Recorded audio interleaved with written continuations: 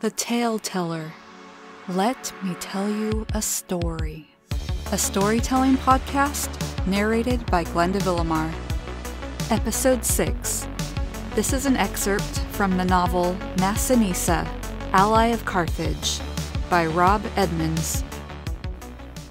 That day, they were going to meet in the Byrsa, but neither had told the other where. It was part of a game they frequently played, and their favorite spot to play it was within the cramped and narrow arcades of the Citadel. It was a hide and seek game that they had refined over a period of months. The beach had proven a poor spot to hide at, even though, once discovered, it was a pleasant place to enjoy each other's company. The port and harbor had been flawed as a location, too. It was not the greatest location for play. There was constant loading of men and materials, and the general ambiance of the place was not conducive to their intentions. The stevedores, soldiers, and sailors were often short tempered and envious of a happy, blithe couple cavorting around their workplace. Besides, hiding alone whilst waiting for your bow in a dockyard where there may be men alighting who had not seen an attractive woman for some time posed some serious dangers. They hadn't really thought it through. The potential for mistaken identity for a painted, alluring woman at the port of Carthage was almost overwhelming. Sophonisba had to deflect quite a few suggestive and ribald comments from the dockers before she had been found by Masinissa, and they were able to make their reasonably hasty retreat. There was a suspicion on the part of Masinissa that Sophonisba hadn't minded this lewd attention one bit. It would have been much more probable for him to have found her in a state of distress, or even tears. Instead, he found her holding her ground quite well. In fact, it might even have been said that the half a dozen men who had gathered around her, and who were making quite indiscreet overtures towards her, were, to a man, entranced by her, and that she was savoring their attention as much as they would her breasts, in the implausible scenario that they could have agreed a price for her ravishment. The Byrsa it was then. Besides its natural advantages for playing hide and seek, it also benefited from being a location with a proximity to a host of sellers and merchants who paraded goods from throughout the Carthaginian Empire and often from far beyond. Masinissa knew well, from his serendipitous discovery of silk, the exotic wares that could be procured by the persistent and lucky shopper. There was always a prize and a forfeit in his and Sophonisba's games, and one that could be decided by another round of exploration added another degree of excitement to their adventure. Sophonisba, in particular, liked to be spoiled, and if he could contrive to lose the game, all the better. He knew that the real prize of the game was her gratitude. Within the Byrsa, there were so many places of concealment, and they both were well acquainted with enough of these to make discovery a prolonged affair. Both, too, ordinarily would spend a great deal of their time within its enormous fortified walls. The Carthaginians had taken care to ensure that everything they needed had been situated within their pretty impregnable stronghold in the unlikely event of an attack or siege. The whole gamut of social and public life was to be found within it. The most prestigious school in the city was just off the small central square, and Masinissa had spent many hours perfecting his Latin and Greek tenses there.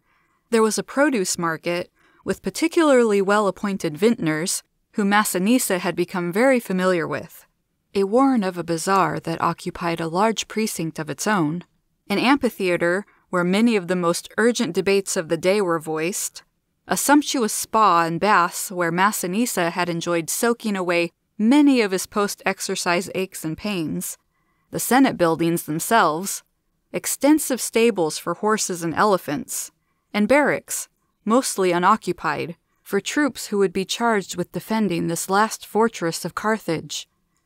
There were also towers and defensive fortifications along many of the walls, particularly those facing the ocean and many of these had ballistas and other siege equipment in situ. Five years of war and fluctuating fortunes had made for a pessimistic preparedness in the heart of the city. Finally, there were the gold inlaid temples of Baal Haman, Tanit, and Melkart, the last of which was an occasional refuge for Masinissa in those moments when he sought consolation or guidance. Masinissa was very much fond of the story of the founding of the Byrsa and, subsequently, the city of Carthage itself.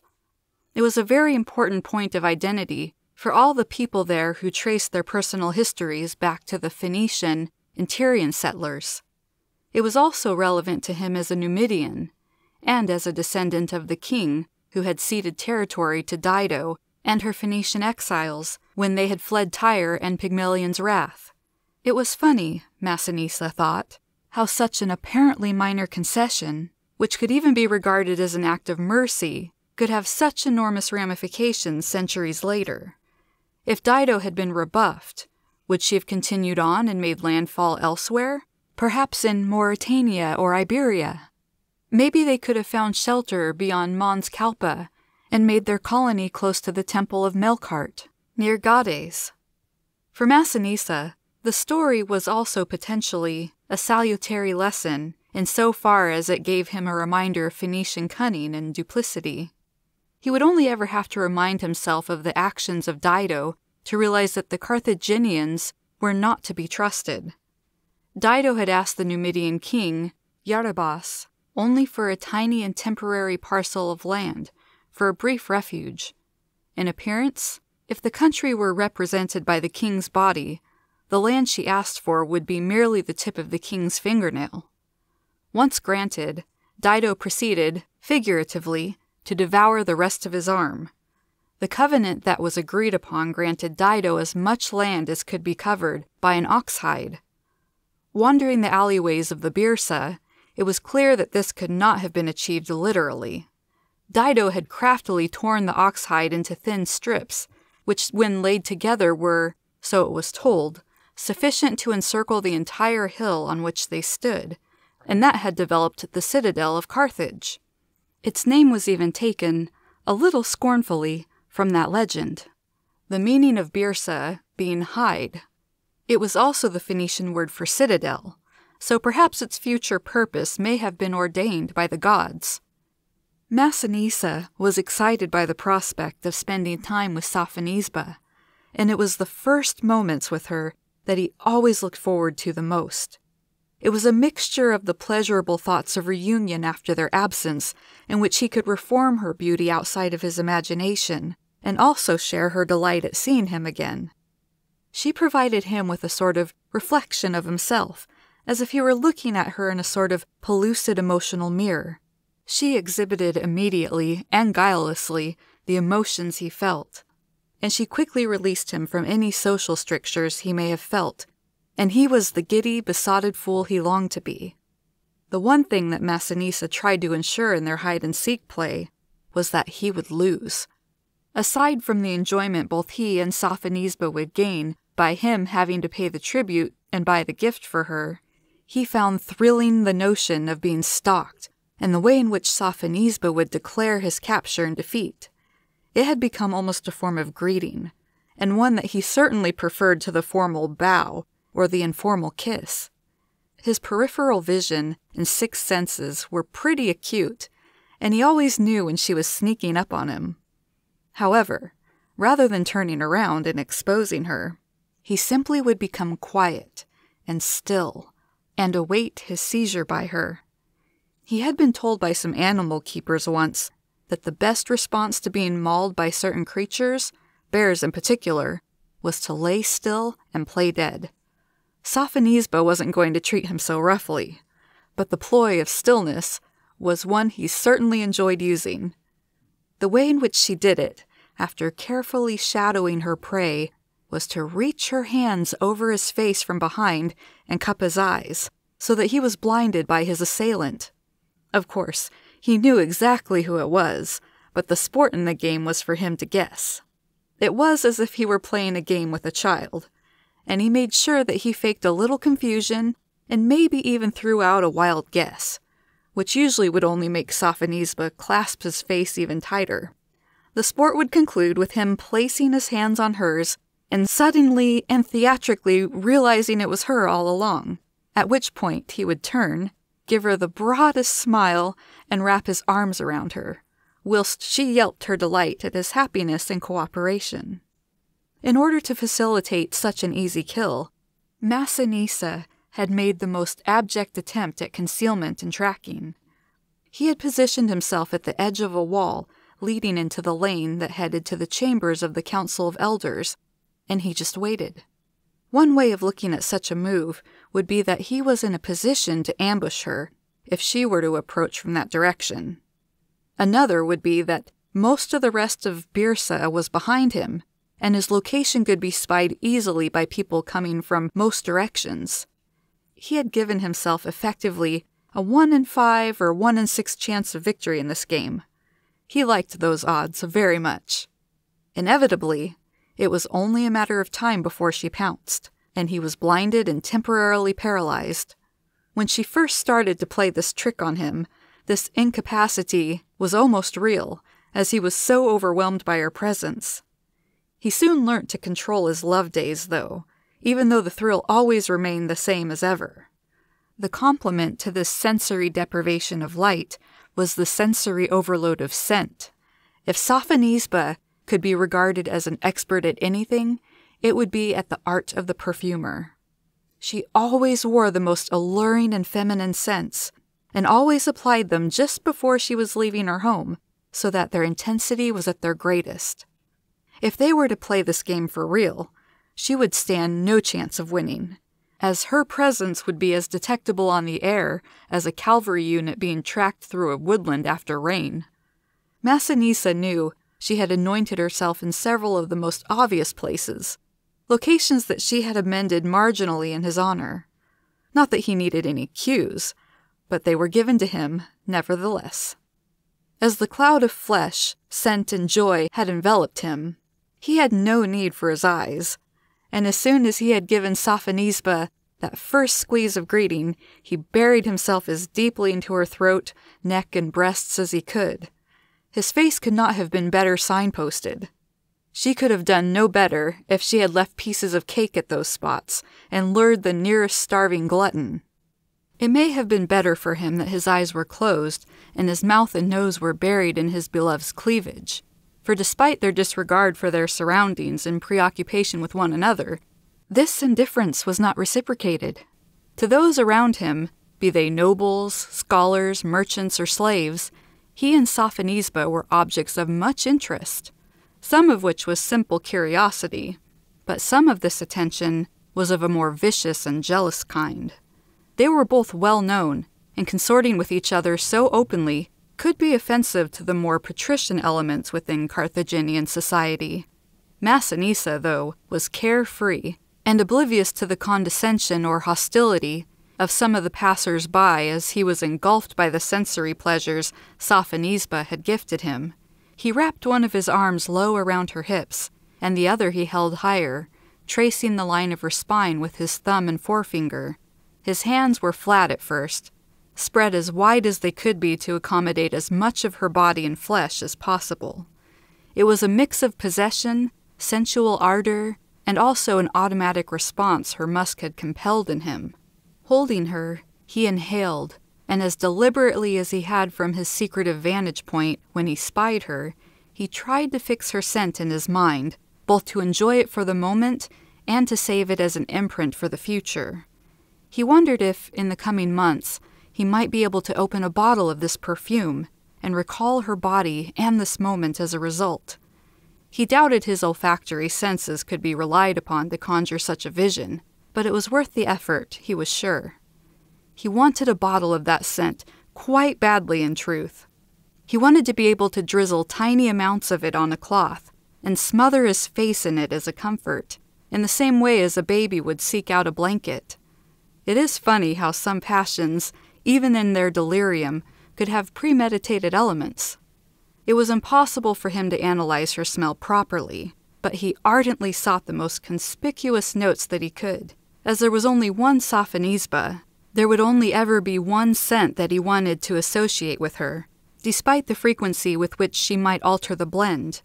This essence of her would always be the most recent one, as the most recent could always be the last. Masinissa held to the romantic absolutism of the desperate and the beguiled. He knew that there was an element of practicality to her scent as well, and that it offered her a modest protection from the sun, which, in tandem with her veil, helped shield her complexion from the fierceness of the daylight. That benefit was incidental to the moment, as he savored the symphony of cedar, myrrh, frankincense, and cypress, and tugged gently at her hair so that more of her throat and bosom was exposed to his greedy senses. There was only so long he could submerge himself in her cleavage, and as he rose for air, he breathed out compliments as avidly as he inhaled her sweetness. Oh, my Aphrodite, he purred. It always seems too long. It was a compliment that was sure to find its target. Sophonisba sighed slightly in approval, and her diaphragm dropped momentarily, as if the deflation in her lungs gave an accompanying inflation of her ego. Oh, my Melkart, I've missed you too. It's only been a few days, but I've suffered. Tanit help me when you start campaigning. I need an artist to draw your likeness, to keep me going, I think. Sometimes I wonder if I would have been better off if I hadn't known you. Masinissa looked at her a little ruefully and tried to put a little commiseration into his words and eyes. Oh, sweetheart, it is the nature of the world for us, for everyone to know departures and reunions. Savor the moments we have, and see me as much as you can in your dreams.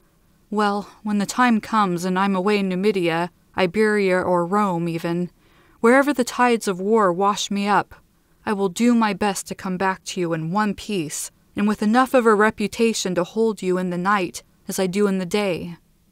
Sophonisba put both of her hands on her hips, accentuating that region considerably in the process, and looked at him in mock seriousness.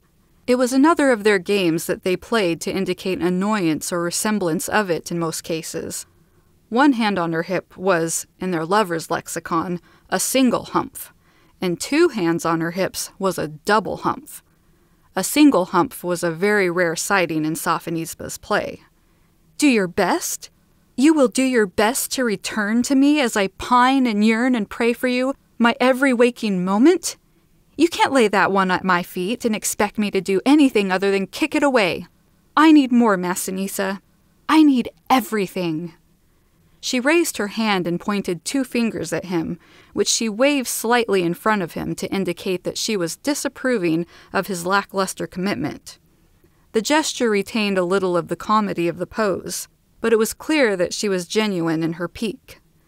Masinissa realized his error. The girl was all or nothing, and he'd given her uncertainty and the prospect of failure. He backtracked sharply. You have it. I'm sorry. I don't mean to offer weakness or doubt. You need my strength and my conviction, and I'll give it to you. I will be back, and I will claim you as my own with all my mind and body intact. I will evade my enemies and make my way through this mad world of conflicts. Your heart will be my beacon, and I will follow it and race back to you as soon as I am able. Masinissa could see that had left a better mark on her. She needed his reassurance, as she had about her portions of the realist as well as the romantic, and he needed to steer her towards the latter. She lowered her voice a little and spoke more earnestly. I hope it is easy for you to love me when I become a memory. I hope I do not fade away like a cheap dye as you march on your conquests. No, my darling, you must trust me as I do you. My feelings for you are as indelible as the scars I bear. He pointed at one on his forearm from a dagger swipe, which once had been livid and crimson, but now was like a furtive worm curling between the hairs of his arm. I'm not sure I want to be compared to a scar, you know. The sensitivity of his woman never ceased to surprise Masinissa, but he had enough wits about him to realize his metaphor had held some substance for Sophonisba. Nevertheless, he knew she needed more, and it was time for his feelings to pour out. I'm going to have to keep laying this on, Masinissa thought, channeling a little masculine bravura, although in a measure that couldn't hope to dilute the intensity of his true feelings. I believe in fate, he said quietly, whilst focusing his gaze directly at Sophonisba. And the intervention of the gods and we are fated by them to be together. I believe in the all consuming nature of love as the most intense expression of our beings. Without that emotion, we are no better than the animals who live out their short existences listlessly and mechanically. Knowing you has lifted me out of that drudgery and given me purpose and fearlessness. He saw that Sophonisba was quietly being moved by his words, but held a little self possession to her core to prevent herself from embracing him and curtailing his lover's monologue. He continued, You know, each day alters me a little. Little parts of my soul are exhausted and fade, whilst other parts are awakened. Maybe I mature, shed a little innocence, and gain a little wisdom, but certain emotions and attitudes abide and are constant. My first thoughts of the day and my final ones are of you. I cannot imagine a moment in the hopefully long chain of my days that will change that fact. Even when my mutable being rewrites my story a little every day. He held her hand, almost as a gesture of formal commitment. I am yours now, as is obvious to see, but I will be yours forever, too, which is a claim I know is harder to believe or trust. I know the war will lay waste to large parts of me, and little deaths will afflict me, even if I am spared a final blow. But regardless of the trials ahead, and the new days when I will awake with new eyes and changed feelings, you will always be there as my joined soul, in the part of me that is inviolable. I love you.